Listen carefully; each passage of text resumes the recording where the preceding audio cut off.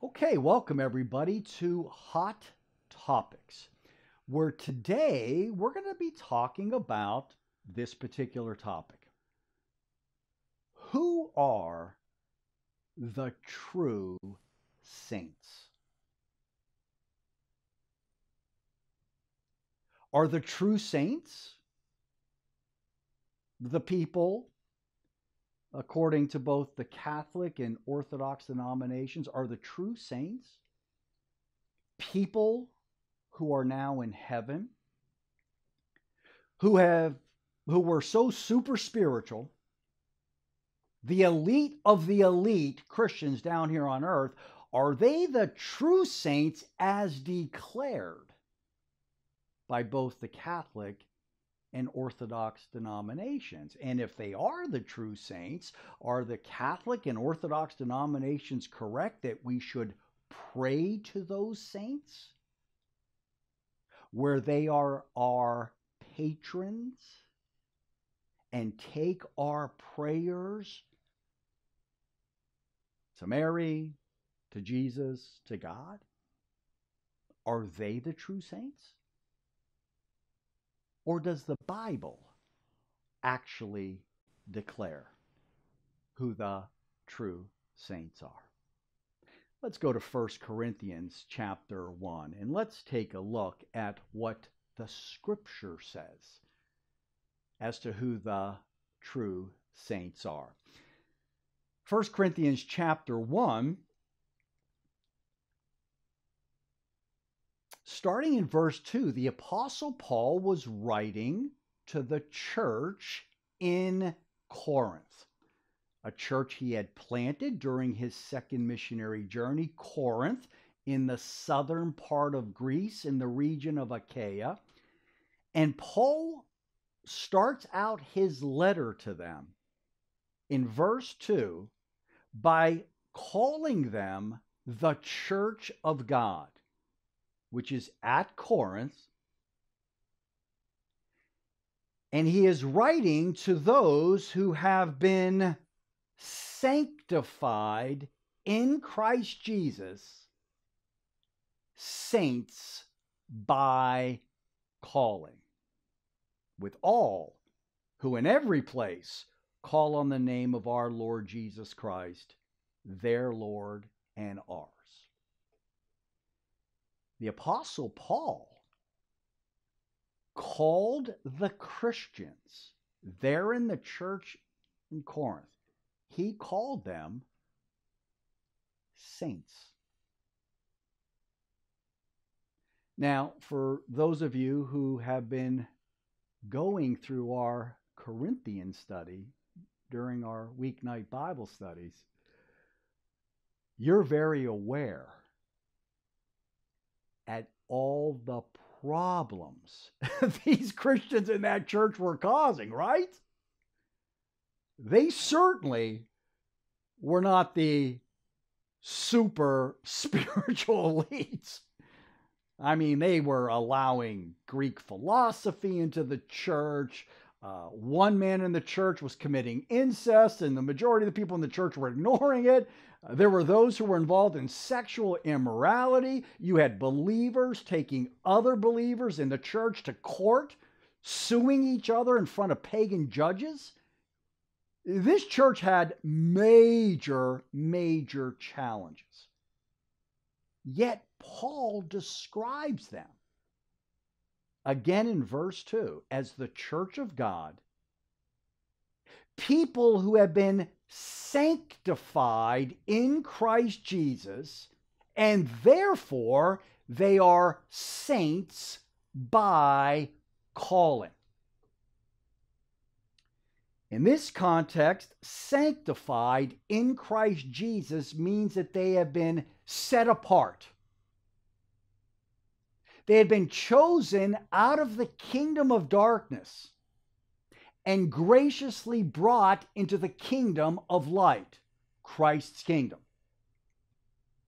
They had been chosen, set apart, sanctified. They are other than they used to be.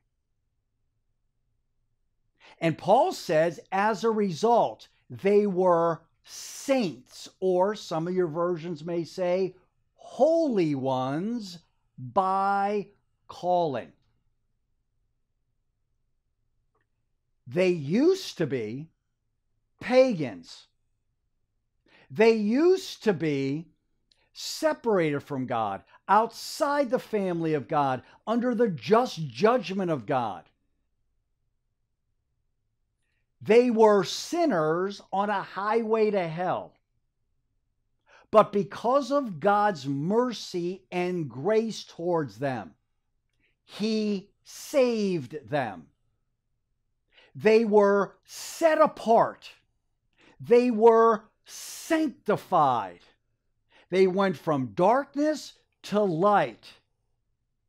They were now children of God. Listen, saints by calling, calling into salvation. Again, these were not super spiritual Christians, right? They had been pagans, living like pagans before they had been saved.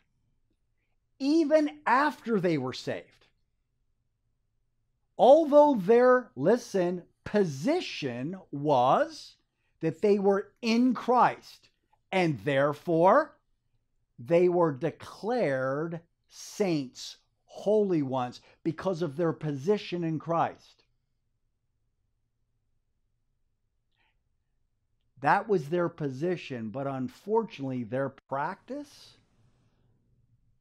left a lot to be desired. And that's why Paul wrote this letter to them to urge them, command them, instruct them to start living in practice according to the reality of their position in Christ. Make sense?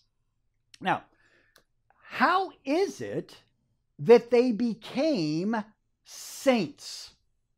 Go to chapter 6.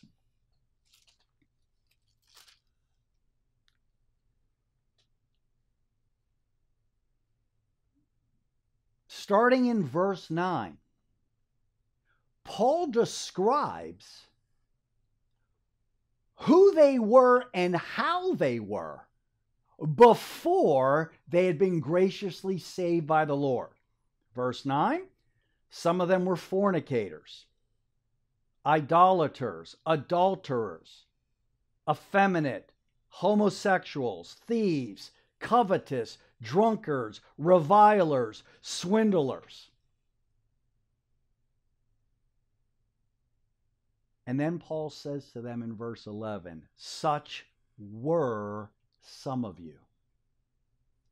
Well, how is it they went from being those, those people, that list, to now being saints in Christ?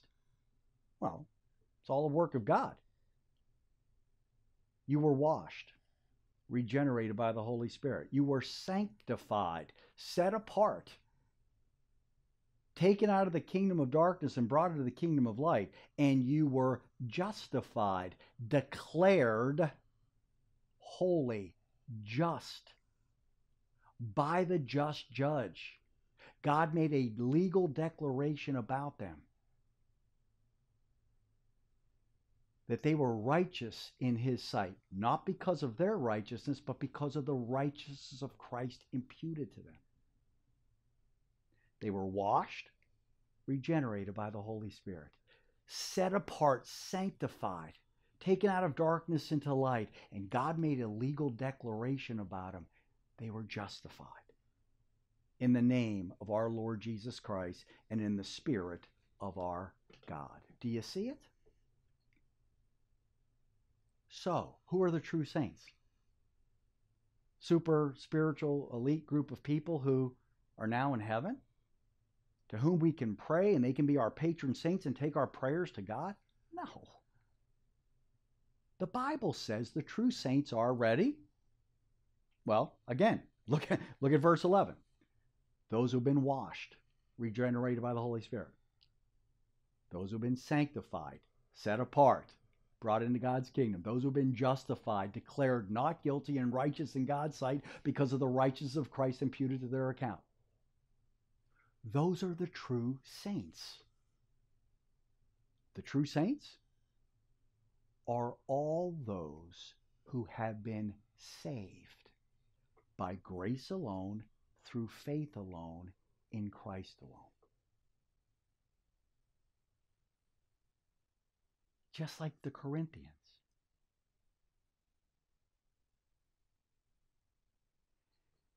Well, okay, Andrew, if that's the case, which it is, then where did the Catholic Church and the Orthodox Church come up with this idea of saints in heaven, the super spiritual elite? We pray to them, they take our prayer. Where they where they come up with this? Well, actually, this idea of praying to saints was not part of obviously the early church. It, it, it started to take hold somewhere around the 300s AD during the reign of Constantine. Constantine, a very famous Roman emperor. Now, I want you to think about how things were structured back then in the Roman Empire. Think of a pyramid. Who sat at the top of the pyramid in the Roman Empire? the emperor. Who was the next close or the, the, the closest to their, you know, to the top after the emperor? You would have his officials, let's say, government officials. Not all of them. Some were closer, some were a little bit lower on the pyramid, right? And then you would have the common people, right? And then you would have at the bottom of the pyramid the slaves. So you had this hierarchical structure. Now, here is the question. Let's say you're at the bottom of the pyramid, or even a little bit higher, common person. How is it that you can get to the emperor, to talk to him, to seek favor from him.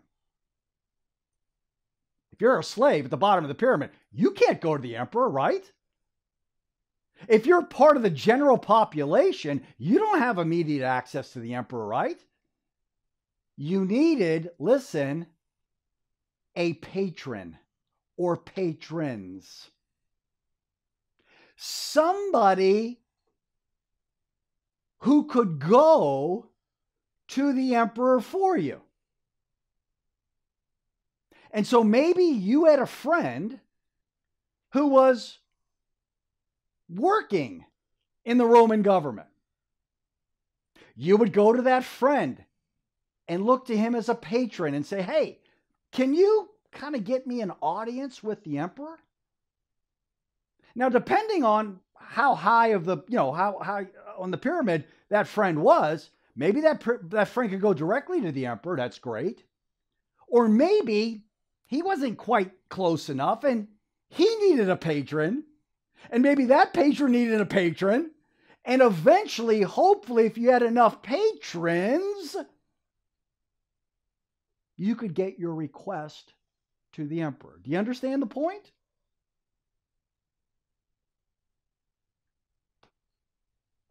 that same mentality crept into the church back then around the 300s.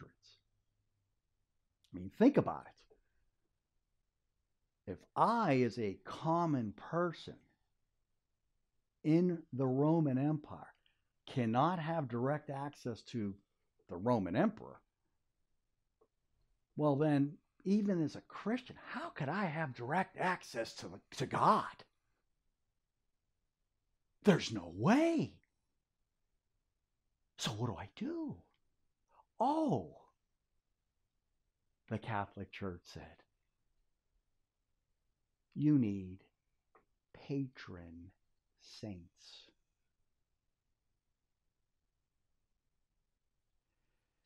And they defined the saints, as I said earlier, this group of super spiritual people who lived exemplary Christian lives down here on earth,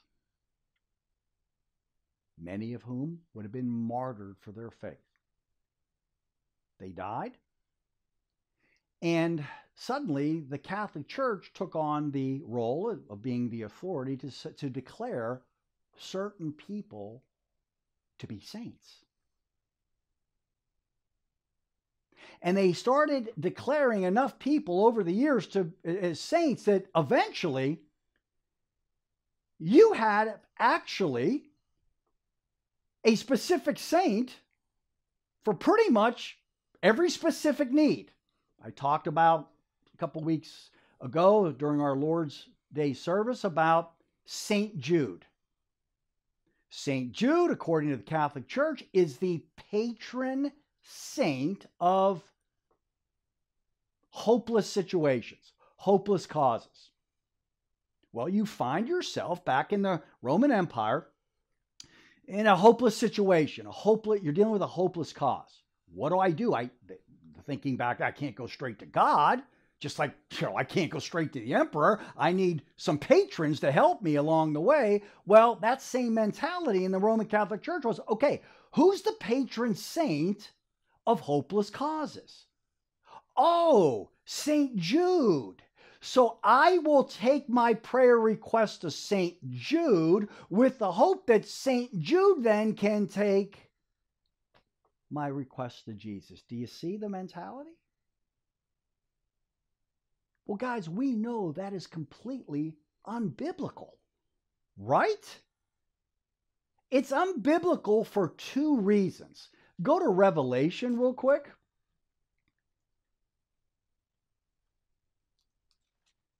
Chapter 21. Here's a picture of heaven. And we are told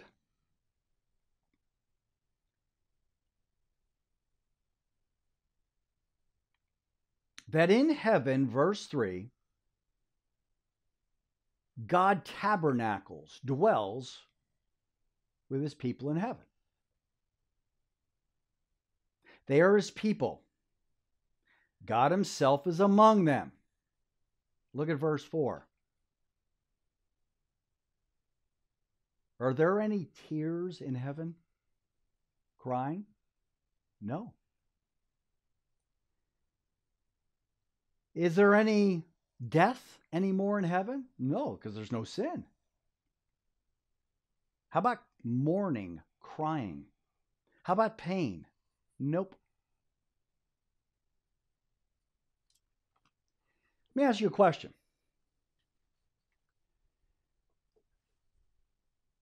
If one of your loved ones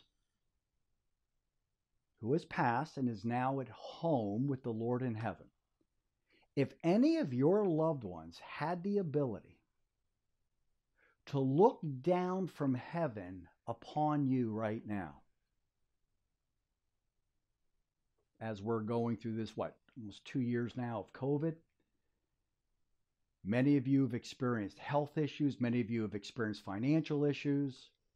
Many of you have experienced the loss of loved ones. If your loved ones could look down from heaven right now upon you, chances are they would be crying as they saw you going through this tough thing called life, right? But wait a second, doesn't the Bible say there's no crying in heaven? Which tells you what? Those in heaven, their focus is not on us down here on earth. Who is their focus on? The Lord Jesus Christ. They're worshiping their Lord and Savior. It's not like all of a sudden you know, they're all there worshiping the Lord, and somebody goes, "Up, oh, time out! I, I have to stop because, um, you know, Rory, my my, you know, my granddaughter's on Earth, and and she's calling me because she's got a prayer request that I need to take." To what? That's insane. The people in heaven right now are worshiping, praising their Lord. They are not looking down on us. They are not feeling pain and sadness as they watch us go through this tough thing called life. Does that make sense? So, when you think about this idea of patron saints, theologically, that is so wrong.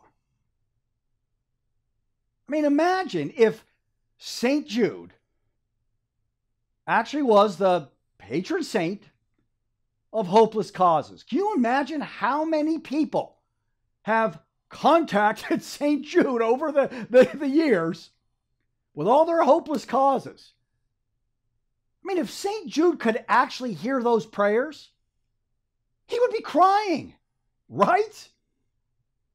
In fact, uh, famous actor uh, and singer back years back, Danny Thomas. Many of you remember him. I think I mentioned this in one of my sermons recently. Um, he actually uh, was the founder of a, of a phenomenal children's hospital called the St. Jude Children's Hospital, a children's hospital for children with, you know, medically speaking, hopeless uh, situations. And a ton of money's been raised, a ton of research has been done, and a lot of good has been done. But actually, the root of, of the founding of that hospital is Danny Thomas, uh, you know, when he was still alive, told the story that he was looking to use his fame and his fortune for something good, which is a good thing. So I, I guess he was in Detroit, Michigan, and walked into a Catholic church, and apparently, according to him, he prayed to St. Jude and said, What do I do? And that was the genesis of the founding of St. Jude Children's Hospital, which again is, you know, nice cause, very good cause, but theologically, um, Danny Thomas did not speak to St. Jude, right? And Catholic people and Orthodox people, when they pray to who they call saints and who they define as saints as being the super spiritual elite, those, those people in heaven don't hear their prayers. They're worshiping Christ. And a little side note you don't want your loved ones in heaven to hear your prayers, do you? they don't want to, you don't want them hearing your, your, your, your, your, seeing your pain and your suffering. You want them focusing on their Lord.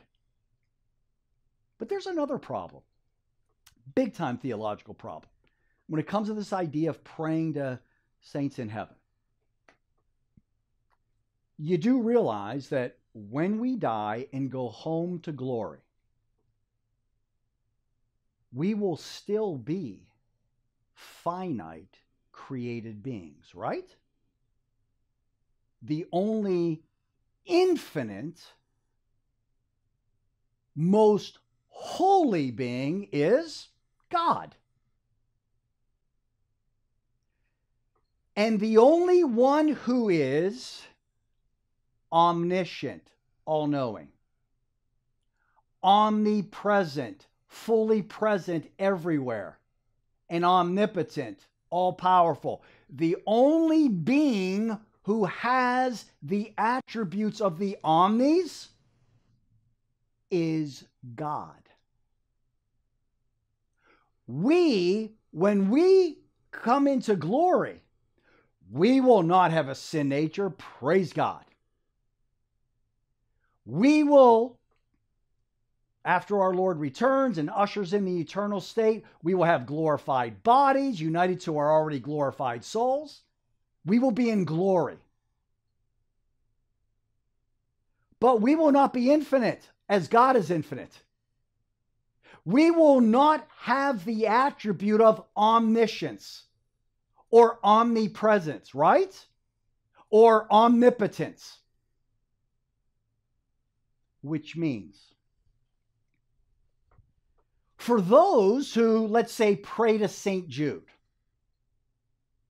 let's say Christine up in Delray Beach, Florida, this morning was praying to St. Jude. Let's say Dayon in Skopje, Macedonia at the same time was praying to St. Jude. Let's say Michelle up in New Hampshire this morning was praying to St. Jude. Let's say Alan in Louisville, Kentucky at the same time was praying to St. Jude. What's the theological problem with that? Besides the fact that people in heaven cannot hear our prayers. What's the other theological problem with that? St. Jude's not omnipresent. He, he can't at the same time hear Michelle in New Hampshire, Dayon in Skopje, Macedonia, Alan in Louisville, Kentucky, and, and, and Christine in Delray Beach, Florida. No. He's not omniscient. He's not omnipresent. Does that make sense? So, everything about this idea of saints, as defined by the Catholic and Orthodox Church as being the super spiritual elite who become our patrons, taking our request to the king, everything about how they define saints and everything theologically about what they say saints can do, it's all wrong. Christian, Scripture makes it very clear. Who are the true saints? Christian, you are. Because you have been washed, regenerated by the Holy Spirit. You have been sanctified, set apart, taken out of the kingdom of darkness, and graciously brought into the kingdom of light. And God has declared you justified, not guilty, because of the righteousness of Christ imputed to your account. Your position right now, Christian, is this you are in Christ, and therefore you are a saint, holy one by calling. In the Greek, saint, hagios, means holy, set apart. In the Latin, sanctus. But biblically speaking, all born again believers are saints. That is what God has declared about you, Christian because of the perfect, holy righteousness of Christ imputed, credited to your account. So that's your position, right? And that will be your actual reality when you get home in glory. But in between the time of your justification, when God legally declares you holy, between the time of your justification and your glorification is that process of sanctification, where the Holy Spirit inside of you is making you more holy in practice, right? That's why let's go to First Peter chapter 1 as I conclude.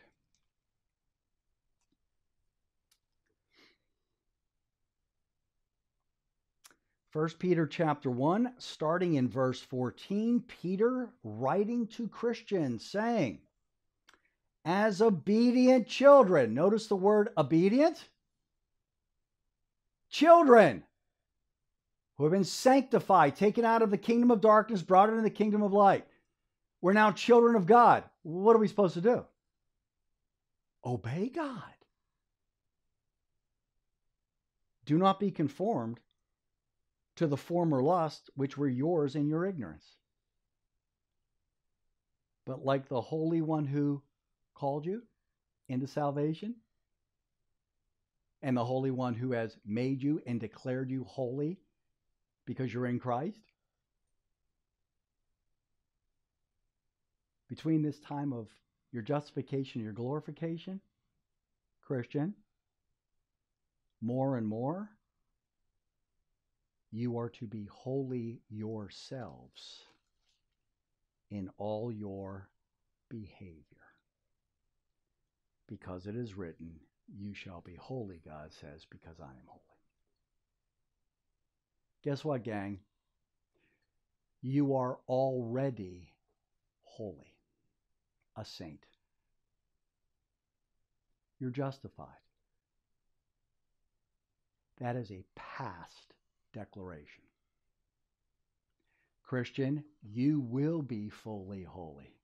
Not as God is, but you will be in glory one day. That is your future guarantee. But in the meantime, while you're here on earth, each and every day, you are to pursue holiness. Where more and more in the power of the Spirit, you're saying no to your sin nature and yes to the Holy Spirit, living for the glory of your triune God, who, by the way, in His grace, set you apart and took you from the kingdom of darkness and brought you into the kingdom of light. Christian, dear saint, let's live our lives to bring glory to the one who graciously saved us. Amen.